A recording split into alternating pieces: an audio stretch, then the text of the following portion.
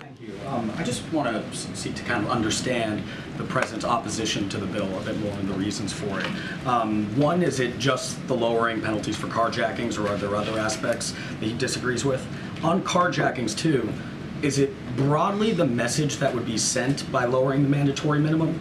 I'm looking at the bill, and basically, right now, the minimum sentence is seven years with a maximum of 21, and the revisions would be four to 18 does he just does he believe that seven years is the minimum sentence someone should receive for carjacking or is it more so the message that would be sent here So I'm not going to go line by line of, uh, of the, of the legislation. What I can say more broadly, to your point, as you are asking me this question, is that the president wants to make sure that we have communities, that communities across the country feel safe.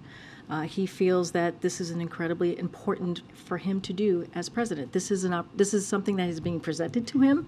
Uh, this is not a piece of legislation that he put forward. This is something that has been presented to him, and he's going to take action on behalf of, of the community here, right here in D.C. Maybe not line by line but like just that line since, I, I'm since just I, no no carjacking. I know I, just- I, I just use carjacking as an example, but he I also mentioned it in his tweet no so. I no totally understand. I'm just not going to go line by line. It was just an easy example to give uh, to give you all and the American people how he sees this. He wants to make sure that communities feel safe, uh, and this is a way that he believes uh, that we'll see that we will see that. Uh,